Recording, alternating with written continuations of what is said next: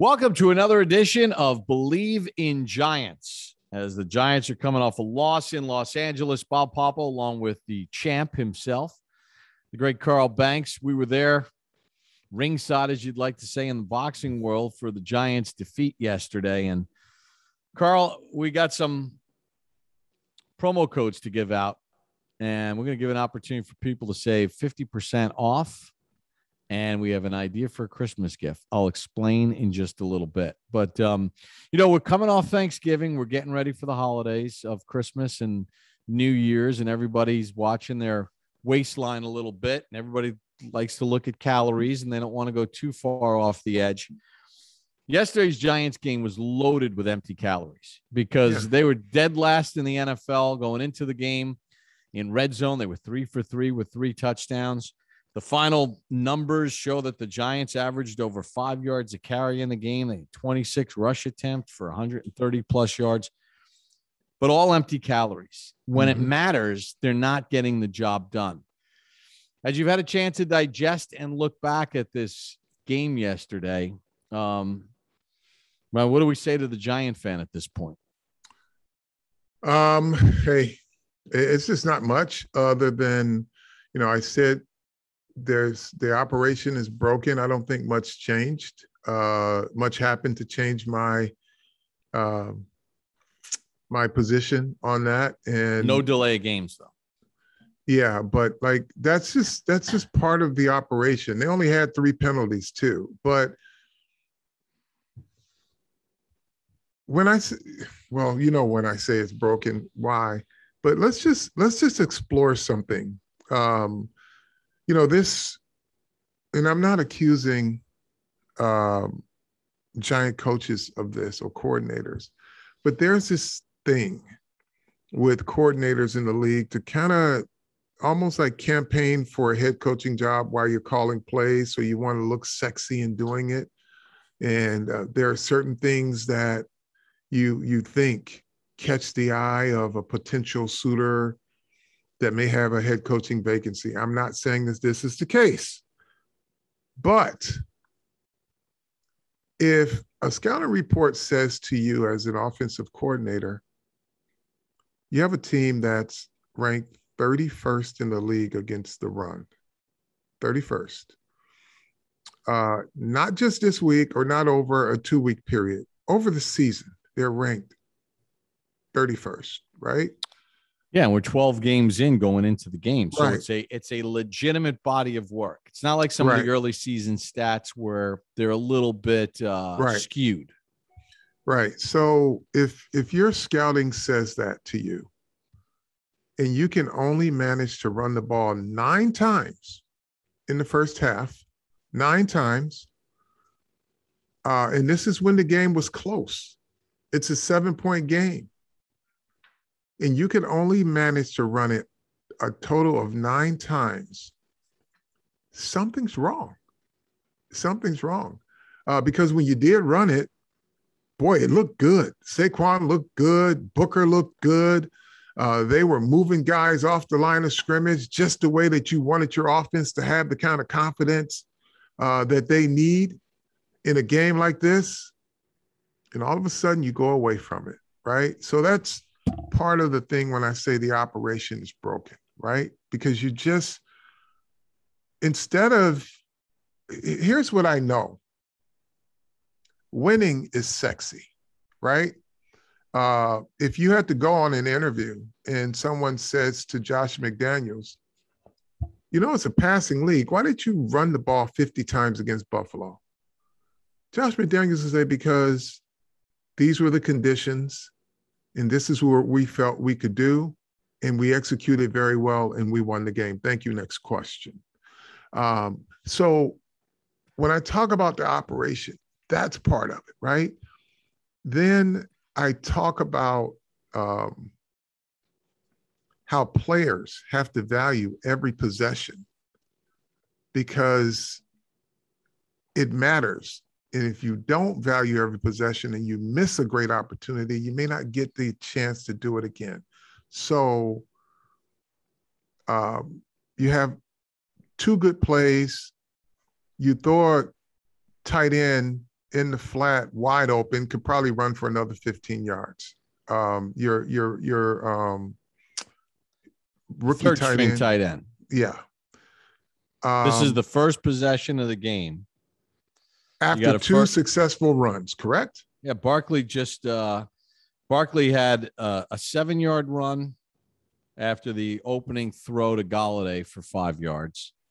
Barkley ran for seven. Barkley ran for 15. So it's first and 10 at the Giants 42 yard line. And then, you know, you, all right. So Myarick is open in the right flat, No, no, wide open. wide open. And throw him not even a hard ball, not a difficult ball, one that hits him right in the hands, he drops it. You know what the end result of that drive is? A punt. So Well, but, but the next play, Booker runs for eight, and they shotgun spread formation, and they throw an incompletion. yeah. And the result of that is a punt, but it goes back to the drop. It goes back to the drop. So operation broken, not coaching towards a team's weakness, not executing when you're wide open, right? So then you come back the second second drive. I think you had some good runs there.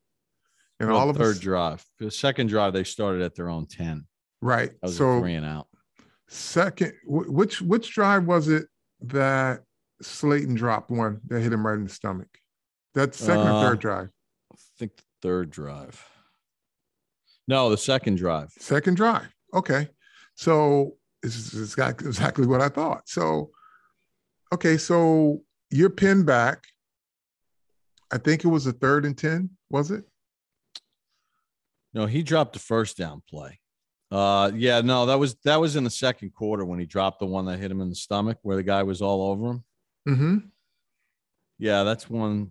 Yeah, I mean, it's little things like that. But but here's the thing, like Darius Slayton, and again, not I, I'm a fan of his, and if he and I were talking, I would have this exact same conversation. So don't think I'm ripping him, but I'm telling you right now, and I would say to him, bro, I don't recognize this version of you. I've never seen it. You weren't even this version of a receiver as a rookie. And I just think after that Washington uh, missed uh, opportunity In week two, in week two, he has not been the same. I don't know what has to happen to get him back, but he is just not. He is he is not the same receiver. He is not even the guy that walked through the door as a rookie. You know, it just I, I you know just uh, it- it's it's not the same, and so you know these are things that just continue to plague uh, the Giants. And then here's oh well you welcomed kyle rudolph into the organization in week 12 and he pays you off big dividends and then he disappears for the rest of the game So I want to speak to what I think a Giants fan is feeling right now because I'm feeling it. When you think about the Giants and you think about success over the years, it's about imposing will. Mm. Okay. The Giants, with a force defensively, imposed their will in two Super Bowls and smacking around Tom Brady. And in all those winning seasons, they got after the quarterback, they imposed their will. Okay, they don't have those players on defense to do that. I understand that. Nor do they have the offensive line that they had, you know, in 2008 when, you know, they had guys running over a thousand yards for the season. They Mhm. had the three headed monster. But I think the thing that really frustrates a Giants fan about the game on Sunday is it never feels like the Giants try to impose their will. And this was a game, and we talked about it in Yeah. the preview podcast. This was a game. Okay, I know my offensive line isn't great, but they're 31st against the run through the first 12 weeks. They are giving up 2.8, uh, 4.6 yards per carry. They're 28th in the league. And I believe, I'm just going to look at my numbers here. They were 30th in the NFL. They've given up 20, uh, 17 rushing touchdowns. Teams have run the ball against mm-hmm. them during the course of the season. So I sit there and I say to myself, why did the Giants, especially in the first half, not try to impose their will? And I don't know, you know a lot more about this stuff than I do. Zone scheme, stretch plays, power, whatever it is, but to concoct something where you find out, okay, we are not good at zone blocking or we're not good at this. But what we're going to do is, boys, we're going to fire off the ball. Mm-hmm. We're going to go with an extra tight end. We're going to go with a tackle eligible. We're going to have Eli Penny in there at times as fullback, or we'll do it out of a one back. And we are going to hammer the nail against a team that has proven over the course of the year they can't stop it. Yeah. And I think Giants fans would have felt better about the game yesterday, even in a loss, if the Giants tried to exploit what was the right. Chargers' weakness. And it goes right. back to the Patriots and the Buffalo Bills. You know, Saquon Barkley was a first round pick. He's one of your difference makers. Well, ride him. Just ride and he, him. It was there for him. He was having such good runs and making great decisions. And then you just decide, well, nine's enough for the first half. We'll figure it out second half. And this is the thing also that, and I don't know if, if Freddie's calling from a script or not, right? If you got something that's working, the rest of those plays can wait. Like whatever's on the script, if this is working and they can't stop it, eh, you don't have to come back to it. Stay with it. Get to the other stuff later when they figure that out again, the Giants don't have the suburbanites, but everybody and their brother knew that Joe Morris was running the ball. Mm-hmm. And Maurice Carthon was leading the way, and that O line again, or Brandon Jacobs, or Ahmad Bradshaw. Yeah, or they've even done it. You know, like we saw it last year a couple times with like Alfred Morris and Wayne mm-hmm. Gallman, mm-hmm. where pound the rock. And I think that's what's frustrating for Giants fans coming out of this game. Look, plus you're playing with your backup quarterback who all the more reason. Yeah. You know, and, and and again, you know, I always say that, you know, Bill Belichick, you know, has ruined it for a lot of people over the years because his teams have suffered injuries and all this other stuff, and they still have always found ways to overcome severe injuries mm-hmm. and win. And that game, I can't get the game in Buffalo out of my head. They they basically held up a sign like you see in college football, those signs from the side. like, we're running, we're running. And they just yeah. did. And yes, they weathered a negative run here or there, but they kept hammering the yeah. nail and hammering the nail. Right. And it's like, I know you got all these other things that you want to get to, but let's let's try to make the Chargers say uncle. Well, here's the thing about that. All these other things that you want to get to, the end result is you want to get to a victory. So if you only use the blue and the red crayon, you're perfect if that's what's going to get you to the W. But when you just start pulling crayons out of the box and you try, it's like, okay, here's a, a perfect example. we were we were um, after the game, we were having a bite to eat, and I said, it's it's th- this is the equivalent of giving a child in a high chair, a bunch of crayons, and they just scribble stuff and hold up the paper and say, Do you like it? The double reversed toss back throw behind the line of scrimmage. That was a whole lot of nothing, right? It was like, and, and then here's the thing about it. Had they just handed the ball to Barkley, and when if he'd have just kept it instead of tossing it back, he'd have still been running. But it was like, okay, we're gonna do a double reverse toss back pass, and we're gonna throw it to the guy behind the line of scrimmage, and it goes nowhere. It was just like a lot of scribbling, right? But when the red and the blue crayon was working for you, it's gonna be there, you know. And we were we were in the stadium, so we could, you know, we're seeing the whole field, and where the where the where the booth is, it's like in Dallas or Arlington It's the same exact location. It's in the back corner of an end zone, but it's it's high enough so that we're almost like an all tw- we're almost like a high end zone look. Yeah. So we could see it coming toward us, and it's like they're doing all the stuff even on the flea flicker, and not one guy on the Chargers bit. I mean, the deep route, the drag route, everything. I think that's when I hit the covered. mute button. I, I didn't hit the mute button on yeah, that one. You hit the mute, you hit the mute button. It, but it was it was like the only thing I could think of is when my kids were young, and we used to go to either TGI Fridays or Friendly's, and they give you a little pack of like four or five crayons in it and one piece of paper. And they just scribble, just try to make sure they use every single crayon. And then they hold up the paper. Daddy, you like? Just, and it's just, but it, it, you cannot be so out of touch that you're going to ignore where your tendencies, uh, where another team's tendencies benefit you. You know, it's just, it's that's a play without a rhyme or a reason, if you ask me, when you could just run the ball and get you 12, 14, 17 yards. You make it easy. Like you said, they didn't move. Like the Chargers were just they were just there, like, okay, whenever you guys get done, show us your paper. You know what I mean? And it's like, but when you can get 14 with Booker or with Barkley, that's what they're afraid of. That's the stuff that you got, like, you gotta, you gotta pound that. And so again, talking about the operation, coming back to that, those are the things that are broken, right? That is where, you know, coaching, players, the operation has to function better. It has to function towards victory. It can't be fits and spurts. And then, you know, talk about operation.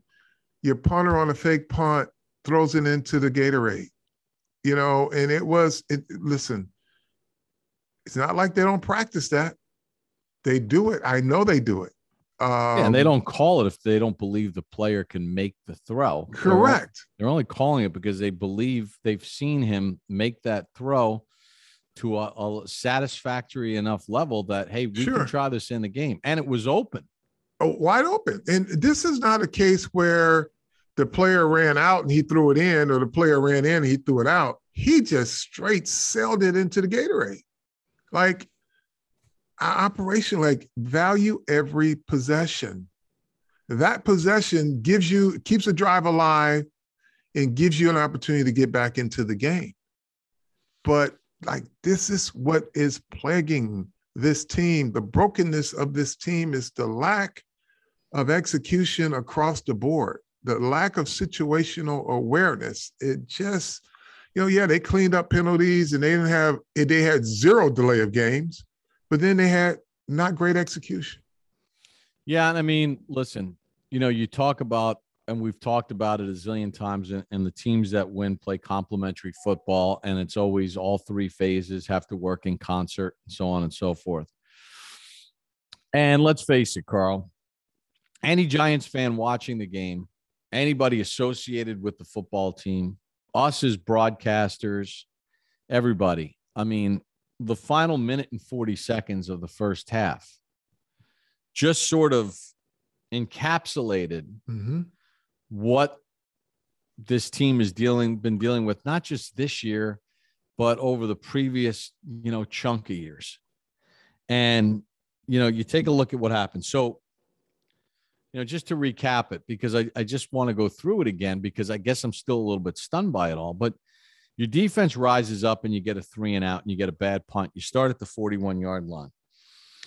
You know, you've got a minute 40 to go in the half, and you still have two timeouts remaining because the Giants called their first timeout um, before the uh, Justin Herbert pass. Mm-hmm. Uh, or no, after Kelley made the catch on the third and 11, they called the timeout to stop the clock. All right, smart.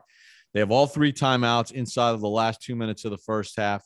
You use that there, force them to punt the football, and then you start at the 41. You got a minute 40 to go. Again, Saquon Barkley is your guy. Okay. And immediately, and Mike Glennon is your backup. And immediately the first play is a throw, incomplete. Second play now, everybody and their brother knows if they're going to throw it, they're going to just check it down to Barkley, and the Chargers are right there. That's a Yeah. loss of two. Um, and then a pass to Booker, you know, is incomplete. And next thing you know, you're punting the ball away. And you sit there and you, you just say to yourself, okay, they're 31st against the run. Yeah. Barkley's have it, Barkley had it going. What's your best run play here? What Yeah. what is uh, what what is our are we running left, we right, or we running off the right guard, are we running off the left Yeah. guard? we running are we are we faking faking an inside handoff and maybe tossing it to the outside with Booker and Barkley and the, we're coming up with something, but we're going to run the football and we're going to attack what their weakness is. hmm So now we talk about complementary football. So you go three and out, you're extremely deflated as a football team. So you started at the 41, you're punting from their 43. So the series loses two yards. And then your punter hits an 18 yarder.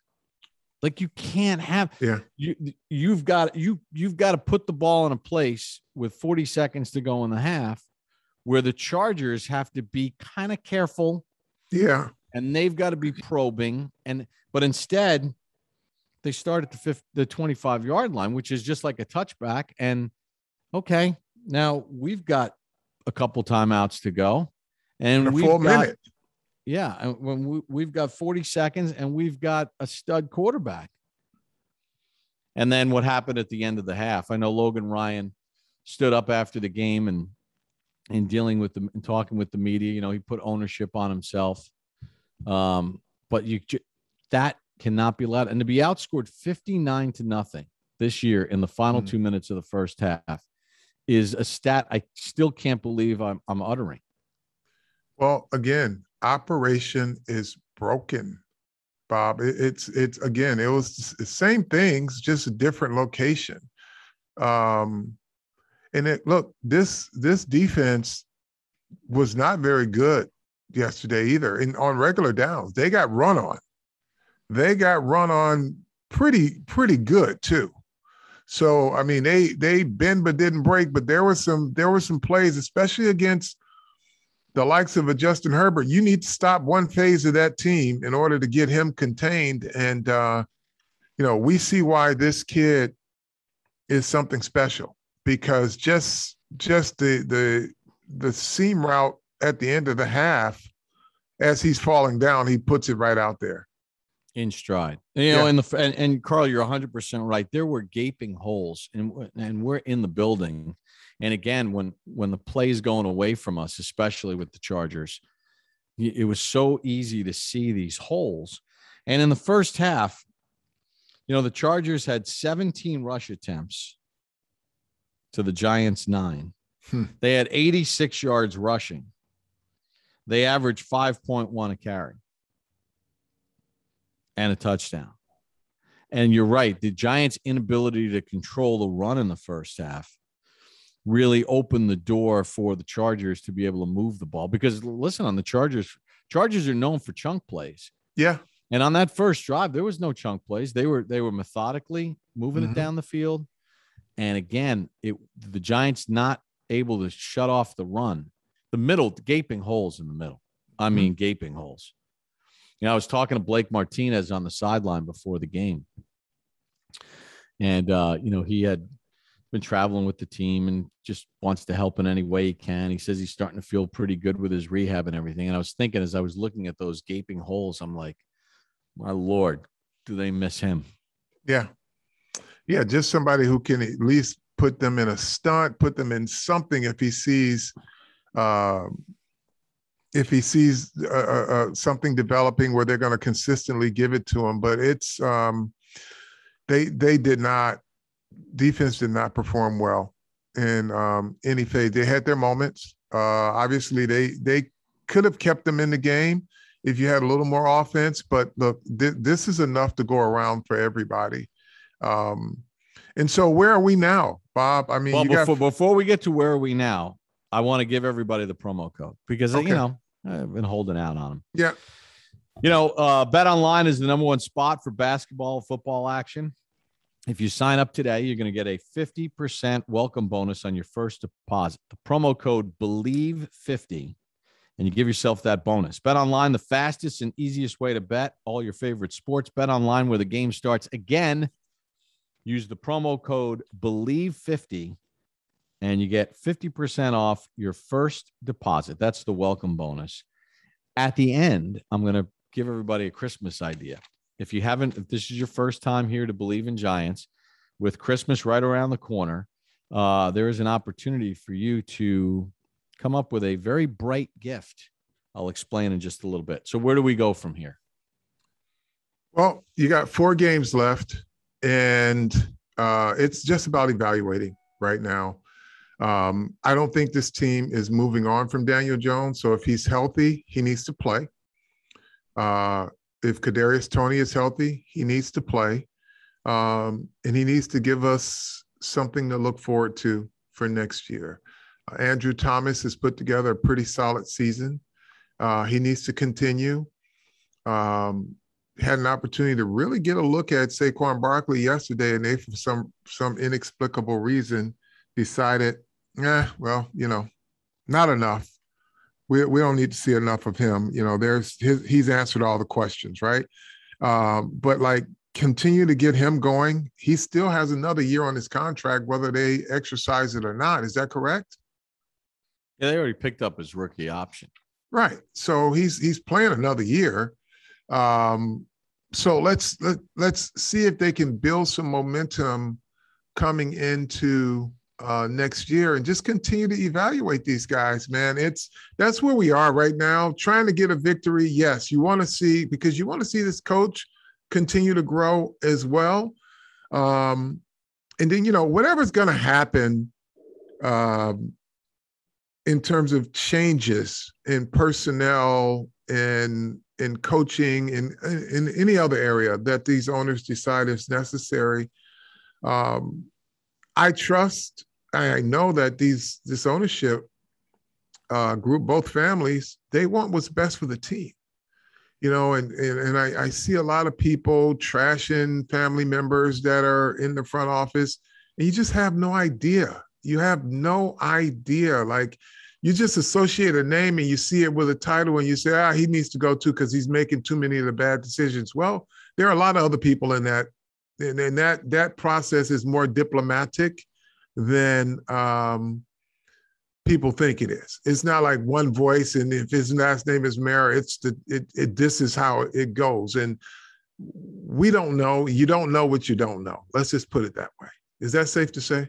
Yes, I think that's safe. Yeah, there's you know some of the chat rooms and stuff like that. They're just it, they're just off base. I understand. I mean, how would they know? But they don't.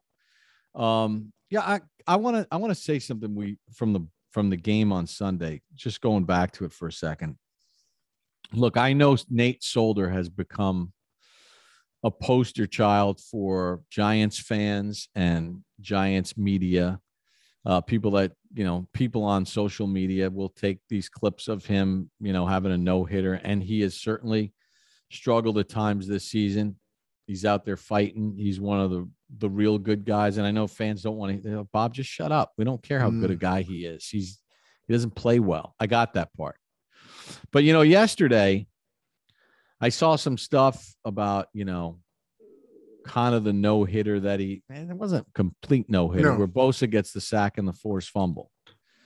But, you know, Bosa finished the game with one tackle and one sack, and it came on that play. And, you know, this is a story about offensive linemen.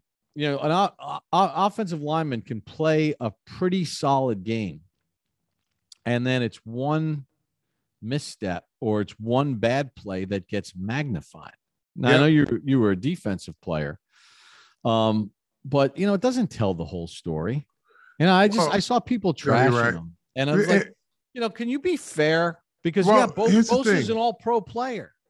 And if Bosa was quiet the entire game, he didn't impact the game at all. That tells you that Nate Solder was doing a pretty good job. And even on that sack, Nate got him, got a hand on him, pushed him wide. If the quarterback steps up, Bosa doesn't make that play. I can tell you that now. So it that has to be complimentary of of you know complimentary football too. Quarterback tackle when you know you got a speed rusher and you know how you want him blocked. If you can get part of that, then it's up to you, the quarterback, to know that, okay, this is my speed guy. I'm going to have to step up in the pocket here just in case he doesn't get enough on him. So, I mean, listen, um, you didn't hear Bosa's name. He had one tackle the whole game. Nate Solder did a heck of a lot right more than he did wrong. Yeah, and I mean, look, um, and and trust me, folks, I'm not saying that, you know, he's the answer, he's the future, whatever. I'm just saying, like in in an effort of fairness. Yeah. Just well, in an effort of fairness. Here's another one that it's not now starting to pop up in my timeline. Well, you know, the Giants. Look what they they got rid of Ereck Flowers too soon. He's doing really good in Washington. I'm like, Ereck Flowers, number one, is on his fourth team, second go around with Washington. Um, so that makes him six years, seven years in the league. So that you want the Giants to wait six, seven years before he figured it out. To and by the guard? way, yeah, to be a guard. Wait, wait a minute. Wait. Jacksonville tried to make him a guard too. If, I mean, Miami tried to make him a guard too, if my recollection serves me right, and it yeah, didn't work out. A couple teams have, yeah, and Okay, so, point. So you can't have it both ways. Like when you go see a player doing something, listen, more power to Ereck. I'm happy for him.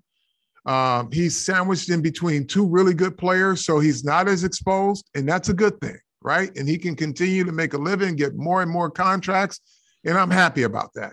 But be under no illusions. It took him five trips, uh, five different teams to figure it out six, seven years later. So um, if you're willing to wait that long for a player to figure out he needs to be at guard, because when he left the Giants, he went to be a guard somewhere and it didn't work out. So, and it finally did, and good for him.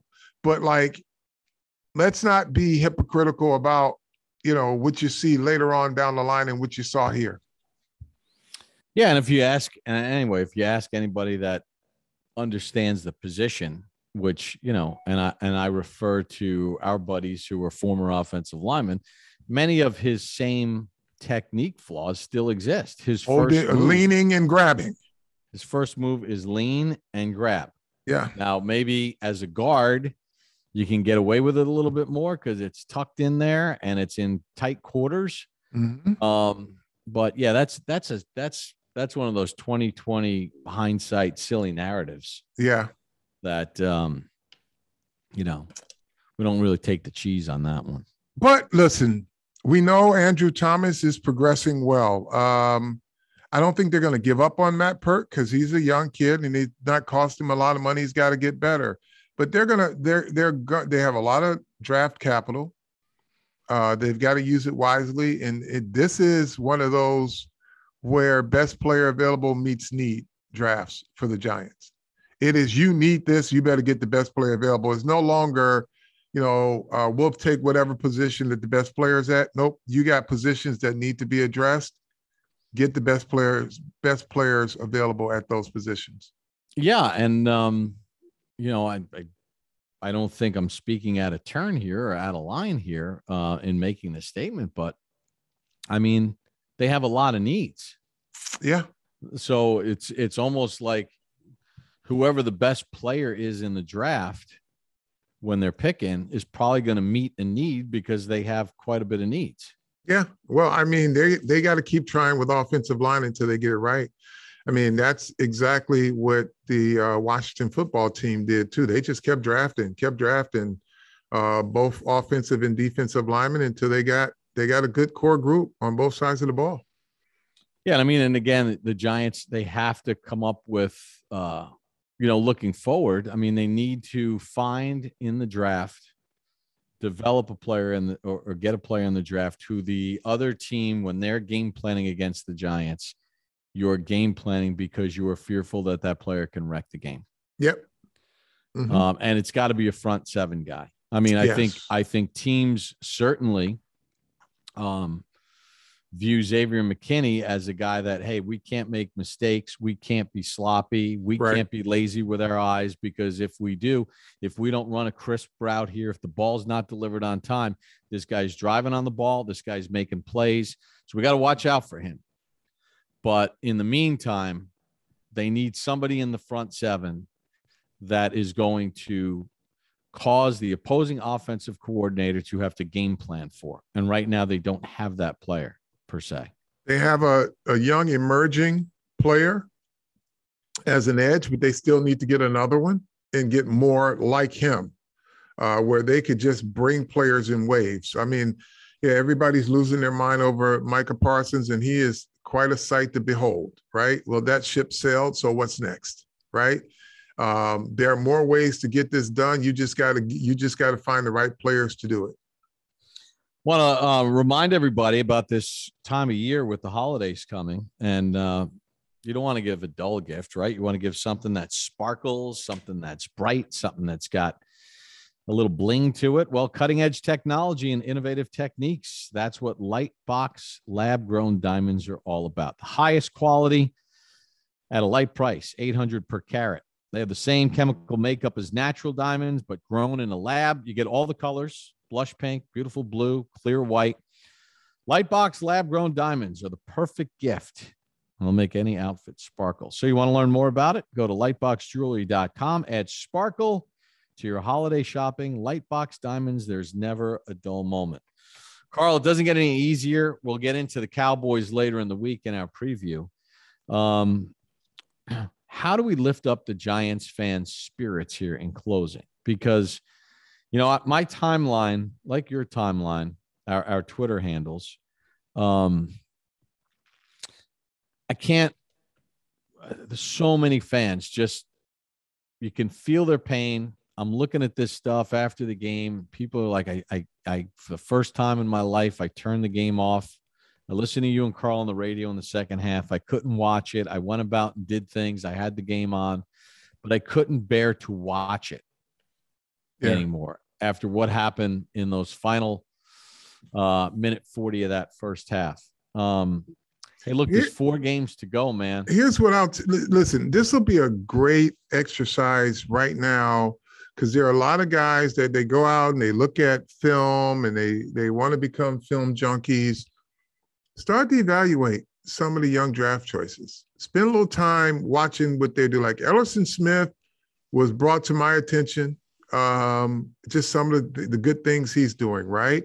Um, and then just look, look at you know, guys that that can make a difference going forward. Uh, the inconsistency of Lorenzo Carter, but when he's in there, he does have an impact. Is this all he's going to be? Right? Um, Ximines is a is a no show right now. He's he's just been cast because Ojulari is doing a better job. But like if as, Giant fans, look at these draft choices look at last year's draft choices, see where they're tracking, how they're tracking. Are they part of a really good core nucleus? You know, you hear that you hear the head coach talk about, you know, a foundation, but there are a few foundation players. You probably don't see them in that context yet, but like Xavier McKinney, right? Ojulari, um, Cam Brown, who's a hell of a special teams player, is going to play in this league a long time at the rate he's going on special teams. Uh, he was one of the big reasons why they got that onside kick. Um, but just start looking at guys like that gives you an opportunity to break down and really, you know, when you want to look smart in the draft, look, look at some current players and say, okay, this guy we can count on. I think he's going to be a starter. He's going to be good depth for us. We need, you know, do this position. Start to have those conversations now you know that that will occupy enough time to kind of you know shield you from the emotion of wins and losses. And now you're just looking at performances. Yeah. And i was like a fan in the fourth quarter when i said hey um why don't they why don't they mm-hmm. throw Fromm in there? I mean yeah. just to see what he's got. I mean he's never taken a snap in an nfl regular season game. Sign him off the practice squad. Uh, but then i went against my own credo of this. These coaches are at practice every day. They are Mike, you know, they micromanage everything. They're in the meetings. Then they watch tape of the practice. They watch film of the practice. They watch all this stuff. My guess is their natural inclination would have been with eight minutes to go in the game or seven minutes to go in the game or six, yeah. five minutes ago hey, you know what? Let's give Fromm a look. But th- they're they had no confidence at that point in time based on the limited amount of practices he had and maybe what he showed or didn't show as far as just command. Right. That they didn't put him in. So I said it during the broadcast because I was feeling like a fan at that point. But I kind of did go against my credo of, you know, that's a tough position to just roll a guy in yeah. to take a look. You could throw a guy in at corner, you could throw a guy in at safety, you could throw a guy in at backer, you could throw a guy in as an edge rusher in mop up time. But you know, you put a guy in at quarterback, that affects the entire operation. Yeah. So yeah, it does. I was a fan during the broadcast in the fourth It's quarter. Okay. to- Maybe we'll see him at some point. Maybe they say, okay, we might want to bring you back to camp. You might be our guy to bring back to camp. So they're going to have to get a little bit out of him. But um, right now, the way this schedule is breaking for the Giants, I don't know if it's it's going to be in a in favor of a giant blowout victory that they put him in, or there's nothing else to gain uh, by keeping the, you know this current quarterback in. So get in there Fromm you know. All right, so folks, uh, again, if you go to BetOnline and you're a new user with the updated desktop and mobile site, uh, here it is: fifty percent welcome bonus on your first deposit. Use the code Bleav fifty. Carl, I know that uh, the fans have lost belief at this point, but uh, you got to look for little things. If you're watching and listening to this podcast, you're a true Blue Giants fan, so you care passionately about the team. You care enough to invest your time to watch any kind of wisdom or insights that we could bring to the table. So, as Carl said, try to look for little things right now. Um, try to look for things where you can say, okay, this is a guy that's going to be part of the solution or this guy is going to be has been part of the problem and you start to at least in your mind's eye give you some things to kind of get focused yeah on and have those debates have those debates amongst your friends you know um, because some of the debates we're having now it's just you- you're just basically saying the same thing a different way you know and arguing it. But look at some of the players evaluate some of you know some a, a block of plays for them and then make the case. Should they be there or should they not? Keep the faith. Tell a friend to tell a friend. To tell a friend and we try to bring some clarity uh we try to bring some perspective to these things um and carl obviously has years of experience playing this game at a high level. So um tell a friend and and hopefully at least we can give you some reasonable expectations um and maybe even reasonable explanations sometimes too. Yeah i think that's what i think that's what i was trying to say but i got my words mixed up. Kind of like me having a hard time saying the word youtube youtube Duba duba. you got a busy week this week with g3 apparel Uh yeah. Um, we're getting some starter gear in that's shipping out to stores for the holidays. So yeah, we got a few things going on.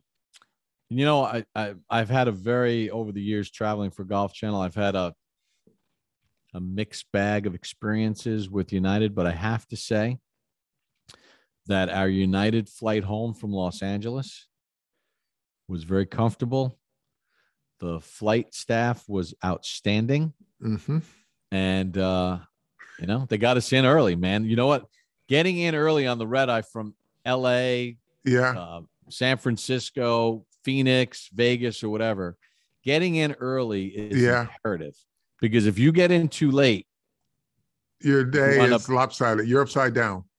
Yeah, not just that, but if you get in too late and you live where we live near the Hudson River, now you get caught in rush hour traffic.